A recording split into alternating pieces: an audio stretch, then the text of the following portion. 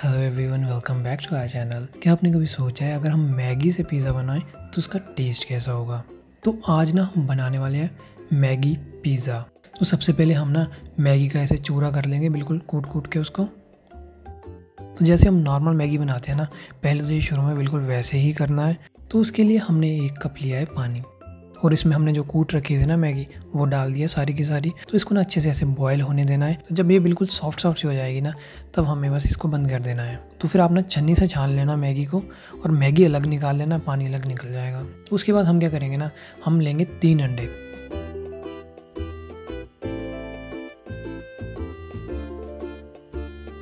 और अब हमने इसमें डाल दिया थोड़ा सा नमक, थोड़ी सी लाल मिर्च और थोड़ी सी काली मिर्च। अब इसको कर लेंगे अच्छे से मिक्स और मिक्स करने के बाद जो हमारे पास मैगी थी ना, जो हमने पहले ही बना के रखी हुई थी, उसको बेस में डाल देंगे और इनको कर लेंगे अच्छे से मिक्स तो ये मटेरियल ना हमने तैयार किया, जो पिज़्ज़ा का बेस बनाने के लिए तैयार किया है। तो सबसे पहले हमने तवे पे ना थोड़ा सा घी लगा लिया और उसको अच्छे से ना फैला लिया है।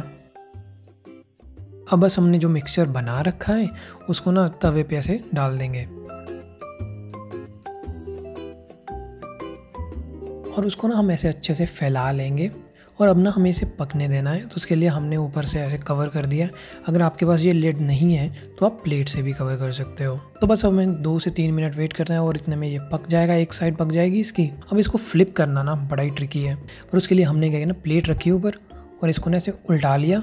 तो प्लेट से ना हमने फिर से तवे पर ट्रांसफ़र कर दिया। अब ना हमने इस पर लगाई है पिज़्ज़ा सॉस जिसकी रेसिपी ना मैंने ऑलरेडी शेयर कर रखी है तो उसका लिंक आपको आई बटन में मिल जाएगा। और उसके बाद इस पर डाल रहे हैं हम थोड़े से प्याज। और उसके बाद थोड़ी सी शिमला मिर्च।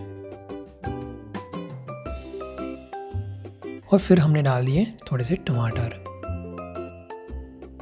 टमाटर डालने के बाद ना हमने इसमें डाल दिए स्वीट कॉर्नस अब इसमें हम डालेंगे ग्रेटेड मोजरेला चीज़ जो कि हम हमेशा की तरह ना, जैसे मैं हमेशा ही बोलता हूँ, हमेशा की तरह ना इस बार भी भर भर के डालने वाले हैं। और जैसे कि आप देख पा रहे हो भर भर की डाली है। ऐसे बोलने के लिए नहीं बोल रहा सिर्फ़। अब बस इसको कर देना हमने कवर और वेट करना है चीज़ मेल्ट होने की।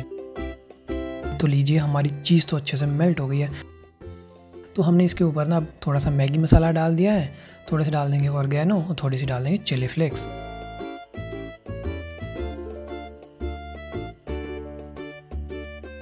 तो लीजिए, हमारा मैगी पिज़्ज़ा ना बिल्कुल तैयार हो चुका है। और ये ना बिल्कुल भी नहीं लग रहा देखने में कि ये मैगी से बना हुआ है। और ये टेस्ट में ना वाकई में अच्छा बना था। मैगी के साथ एग का कॉम्बिनेशन थोड़ा सा वेट तो लगता है, पर ये वाकई में ना अच्छा ही कॉम्बिनेशन है। तो जो मैगी लवर्स है ना, जिनको मैगी बहुत ज़्यादा पसंद है, वैसे तो सबको ही बहुत ज़्यादा पसंद होती है, पर जिनको बहुत ज़्यादा पसंद है ना तो वो ये पिज़्ज़ा ना ज़रूर ट्राई करके देखें, और सही में उनको ना बहुत पसंद आने वाला है ये। जिस हिसाब से इसका चीज़ पुल आ रहा है ना, वो देख के बता ही नहीं पाएगा कि ये चीज़ ना मतलब घर पे बनाई है हमने। तो आप ये मैगी पिज़्ज़ा ना ज़रूर बना के देखना और कमेंट करके बताना जब आपने बना के देखा था तो आपके वाला कैसा बना था। Thanks for watching this video अगर आपको ये वीडियो पसंद आई है तो please like this video share with your friends subscribe to our channel bye bye